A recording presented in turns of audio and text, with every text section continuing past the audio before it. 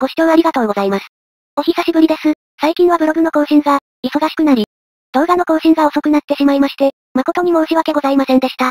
申し訳ございませんでした。本日から動画の更新を、復活させていただきますのでよろしく、お願いいたします。よろしくお願いいたします。なお今回のシリーズでは、あの懐かしい1980年代のファミコンの出来事について、全4回に分けて紹介させて、いただきます。古典公式ブログにも、この動画の記事が掲載されていますので、ご興味のある方はぜひご参照ください。今回の動画では、ファミコンの誕生した1983年から1984年までを、ご紹介させていただきます。おお懐かしいファミコン。ファミコンが生まれた1983年からビークの盛り上がりを見せた1990年まで、一体どんなことが起こったのか。一般的なゲーム年始では忘れ去られたニュースなどを、交えて表と裏の歴史を、見ていこう。1983年、ファミコンの、誕生。1983年7月、ファミリーコンピュータ発売。当時日本の家庭用ゲーム機市場は、エポックのカセットビジョンや、海外メーカーである、当たり社の当たり2800の、勢力が強かったんだ。1970年代には、第一次家庭用ゲーム機の、黄金時代が到来するけど、家庭用ゲーム機市場を、作るまでには至らなかったんだ。それに一石を投じたのが、任天堂のファミリーコンピュータなんだ。価格も家庭用ゲーム機としてはかなり低価格で、カセットビジョンとほぼ同等の、1万5000円。高級機のあたり2800は、なんと2万4800円。ファミコンは、バンダイから発売された家庭用ゲーム機の、アルカディアと比べても4800円も、お安いこともあり。任天堂は年内に10万台を、生産販売する予定と、超強気の数字を出しているよ。このファミコン発売に対抗して、エポックは、カセットビジョンをカセットビジョンジュニアに、モデルチェンジ。価格も半額以上値下げして、5000円となったよ。1983年当時シェアナンバーワンの、家庭用ゲーム機は、エポックのカセットビジョンだったんだ。視聴者の中に、当時カセットビジョンを保有していたユーザーもいるかもしれないね。しかし1983年7月17日に、発売された、任天堂のファミリーコンピュータと、同日に発売されたセガの、SG、一戦の登場により、カセットビジョンは、ナンバーワンの座から引きずり下ろされることになるんだ。この時から家庭用ゲーム機市場は、任天堂とセガの戦いが、始まろうとしていた。結局ファミコンが圧勝するけどね。でも、ファミコンが発売された当時は、メディアからも全く注目されていなかったんだ。この頃は10万以下のホビーパソコンである、MSX などの方が、注目されていて。任天堂のファミコンの生みの、親でもある開発2部の上村部長は、マスコミの取材で、なぜキーボードのついていないコンピューターを発売するんですか？などマスコミの関心は薄いものだった。そしてファミコンは注目されることなく、静かに発売されたんだ。今では考えられないね。その後、ファミコンは国内で2000万台、世界ではなんと、6000万台も発売されるなんて、予想もつかないことだったんだね。それに任天堂の上村部長は、苦労して開発したファミコンが、発売された喜びより、1年間無事に、ファミコンを製造し続けられるかどうかの、方が心配だったんだ。その心配が12月起こる、ベースボールゲームの消える魔球事件で、現実となってしまう。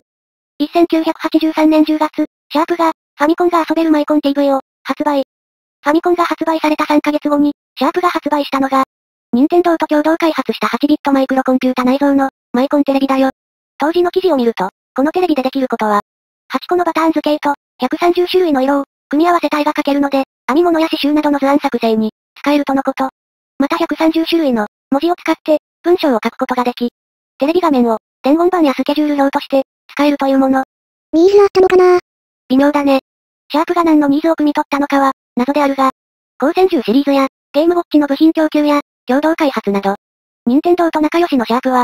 その後も、ファミコン関連の商品を、融合させるのが大好きで、後にツインファミコンなども、発売しているよ。ちなみにこのマイコン TV は、別売りのカセットを使うと、テレビゲームが楽しめるよ。価格は、14インチが9万3000円、19インチは14万5000円であった。購入者は見たことないけどね。1983年12月、ベースボールゲームの、消える魔球事件。ファミコンのベースボールで遊んでいた子供たちの、中から、ボールが消えてしまうんです。どうしたらいいですか？という声が任天堂、開発2部に、届くことになり、これが後にベースボールゲーム、消える魔球事件と言われる出来事が起こってしまうんだ。そう、この事件は、ファミコン発売時の最大の危機となった出来事なんだ。原因は、ファミコンのグラフィックチップによる熱暴走。ファミコン本体に負担の、大きいグラフィック処理が、頻発すると、グラフィックチップの温度が、想定以上に上がり、熱暴走してしまう現象が、発生するんだ。これはファミコンのグラフィックチップの、性能をギリギリまでチューンナップしたため、熱暴走しやすい仕様になってしまっていたことが、原因だったんだ。しかも時は、おもちゃが一番売れるクリスマス商戦直前。任天堂は、ファミコンの全商品を、回収し、修理することを決断するんだ。この事件により、一時おもちゃ屋から、ファミコンが消えてしまうことに。この時ファミコンの生みの親である上村部長は、ファミコンは終わった。と思いながらファミコン回収の、陣頭指揮を、取っていたという。ベースボールゲームの消える魔球事件により、おもちゃ屋からファミコンが消えたことにより、漁夫乗り終えたのが、セガの SG、一戦や、エポックのカセットビジョンであった。おっちゃんです。セガは、予想以上の家庭用ゲーム機の、販売台数に驚き、ここから家庭用ゲーム機への本格的な参入を、決意するんだ。ここからは、1984年のファミコンの出来事を、ご紹介させていただきます。1984年1月、おもちゃ屋から任天堂に、苦情が、ベースボールゲームの消える魔球事件の、発端とした。ファミコン全品回収騒ぎから1ヶ月後の、1月に、任天堂開発、第2部の上村部長の、元におもちゃ屋からの苦情が、頻発することになる。苦情内容は、ファミコンを名指しで、指名買いしてくる子供たちが、頻繁に訪れてくるのですが、肝心のファミコンの在庫がないので、困っている。というものなのだ。とマスコミに全く注目されていなかったファミコンは、子供たちの間で、ファミコン面白い。ということが口コミで広がり、正月のお年玉で、ファミコンを指名買いする子供たちが、増え始めていた頃なんだ。そして、1984年の初め頃からファミコンブームの、兆しが見え始めるようになるんだ。しかし、任天堂の自社工場でのファミコン製造は、慣れない大量製造のため宿泊することになり、なかなか子供たちにファミコンを、届けられずにいた年でもあるんだ。確かにこの頃、ファミコンの売り切れが、多かった気がするね。1984年2月、任天堂と、ナムコが提携を、発表。今はハードを出したメーカー以外の、メーカーが、ソフトを販売することはすっかり当たり前になっているけど、当時はまだまだ珍しい時代なんだよね。この頃の新聞の記事によると、任天堂とナムコの提携は、家電各社の統一規格である MSX に、対抗していくことが狙い。そして、ソフト分野の弱い任天堂には、強力な援軍となりそうである。ということの2点が強調されていたよ。この提携の第一弾ソフトとして、同年9月にはギャラクシアンが、発売されたよ。ナムコの提携前の、前年1983年12月には、ハドソンと任天堂との間で、ファミコンのライセンス契約が、結ばれているんだ。ハドソンやナムコなど、最初の頃に任天堂とファミコンの、ライセンス契約を結んだメーカーは、有利な条件でファミコンの、ゲームが発売できるようになるんだよね。ラッキー。ファミコンが発売されていた、1983年、から1994年までの、間に、ファミコンのゲームタイトルは1053本も、発売されているんだけれど、ファミコンに参入したゲームメーカーは、全部で103社もあるんだ。そんなゲームメーカーの中で、最も発売タイトル数が、多いのが、ナムコの83本なんだ。ナムコは、ファミコンでめちゃくちゃ儲かっていたってことだね。それにしては、任天堂とナムコって仲が、悪いイメージがあるね。1984年6月、ファミリーベーシック発売。当時の記事では、ファミリーベーシックは、勢いに乗る MSX に、対抗して任天堂が発売したもの。記憶容量は 16KB、バックアップ機能には乾電池を、使用。これで、フファミコンでベーシック言語に、基づいた、簡単なゲームプログラムを、自作することができるようになった。というもの。ファミリーベーシックは、当時ゲームウォッチの共同開発で、取引関係にあった、シャープ A。任天堂からファミコンの周辺機器として、キーボードを利用したベーシックで、遊べるようにと依頼した商品なんだ。そしてこの頃シャープは、国内のパソコン業界の産業の、一角であり、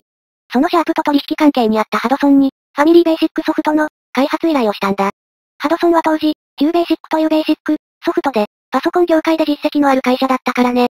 そしてこの時、ハドソンは、このファミリーベーシックの開発でファミコンに、触れることになり、ファミコンに興味を持ち始めるんだ。そしてファミコンの開発環境を、整えたハドソンは、同年の1983年12月に、任天堂とのライセンス交渉に、挑み、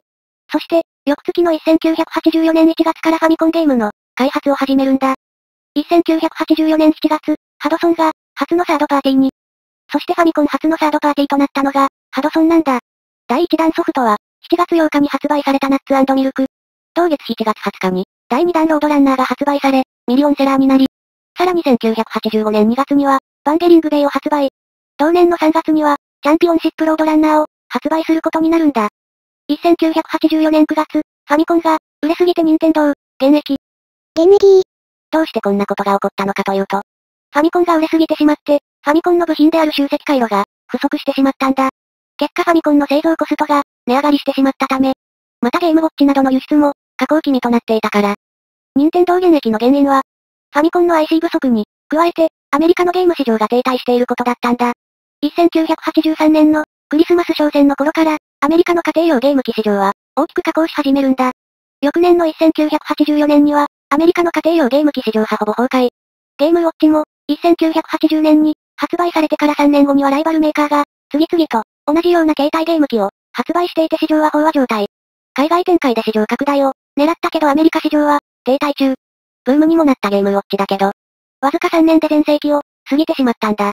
うーん、まさに諸行無常の世界だね。1984年10月、任天堂と、エニックスが提携。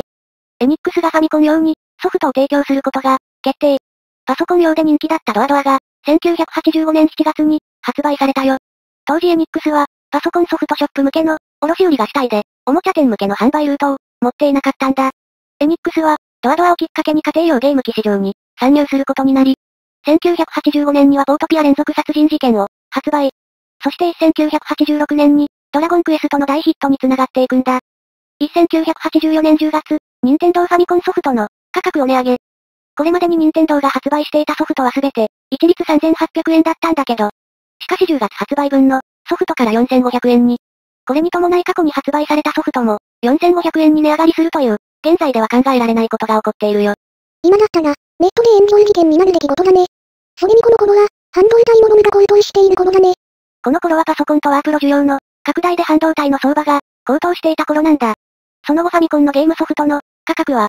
5000円から5500円と、値上がりしていくことになるんだ。このままでは価格が上がりすぎて、子供たちがファミコンから離れてしまう。と考えた任天堂は、ロムカードリッジに代わるゲームソフトの、ハードを考え始めるんだ。あの、ファミコン周辺機器の登場だね。次回は、1985年からのファミコンの出来事を、ご案内させていただきます。ご視聴ありがとうございました。